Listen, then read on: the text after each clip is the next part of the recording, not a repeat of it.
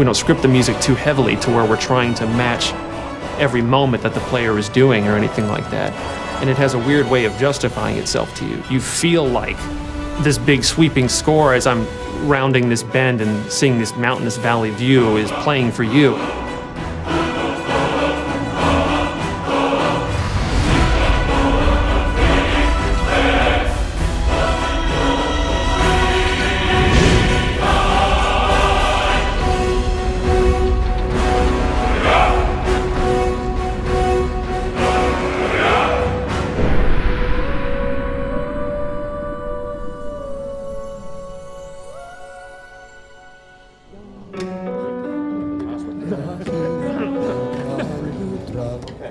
So any questions on the pronunciation? Uh, the full quarter note. Let's try it.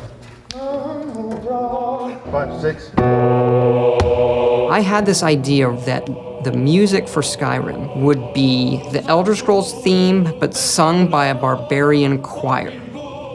So I called Jeremy Soule, who does our music. I mean, this is in 2006. Jeremy, I hear the Elder Scrolls theme as sung by a barbarian choir. Okay, how are we gonna do that? I don't know.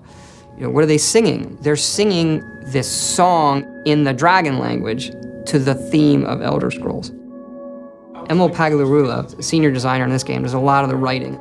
He's able to come up with things I don't know how he does. Emil, can you write a song that works in dragon language that rhymes with the Elder Scrolls theme? When translated into English, also makes sense and rhymes.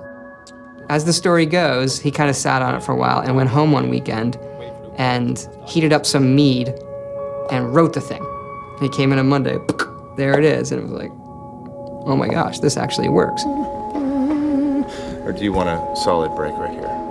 Um, let's, let's, let's go ahead and carry it. Jeremy Soule, his work on the main theme of the game set the tone for the rest of it.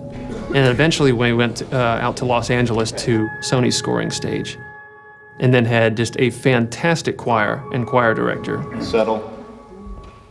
And the choir was only made up of about 30 people.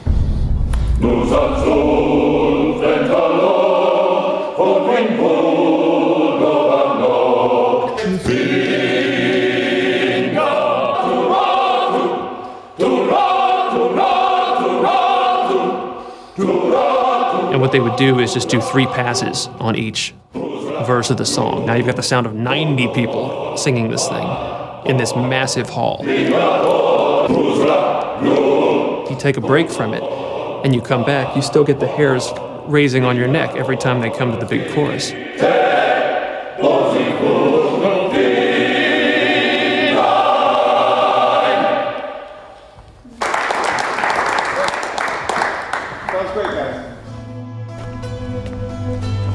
We send you to plant some phony evidence in the Mark's house and then tip off the town guard.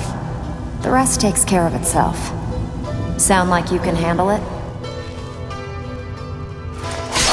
I think the best NPCs, you can tell a lot about them from the voiceover. But I still hear the call of the blood.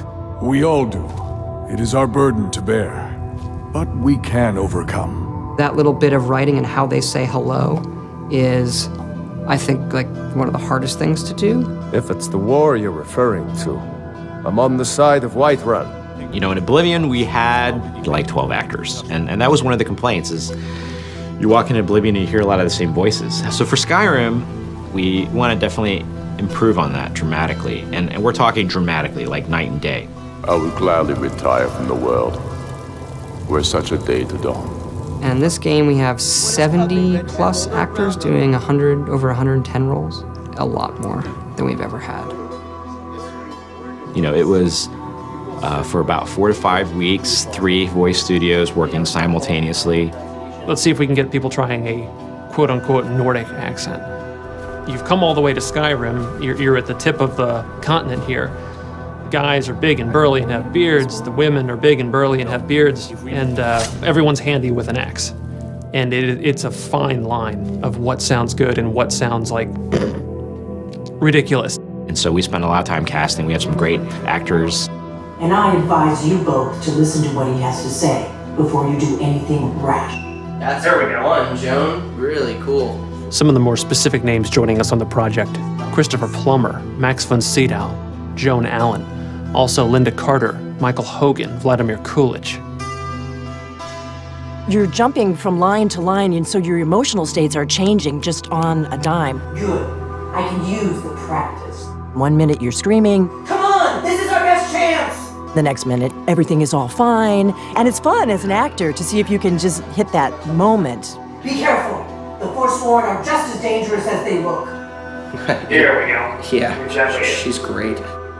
We also have Christopher Plummer, who I've wanted to put in a game forever. You know the ancient Nord word for war? Season unending. And so it has proved. The voices are all important, of course, in media like this. I've been 60 years in the theater and film, and uh, this is the first video game I've done. Begone! Before even my philosophy has tested me on the breaking point. We are men of peace, and you are not. The process is, is fascinating, absolutely. So I'm, I'm enjoying myself thoroughly. They were perfect for the part to begin with, and I think everybody had a really good time. Oh, yeah. right on the money. Thank you, sir. And now 22, we're moving on to a different lesson. No doubt, the appearance of a dragonborn at this time is not an accident. Your destiny is surely bound up with the return of the dragons. You should focus on honing your voice, and soon your path will be made clear.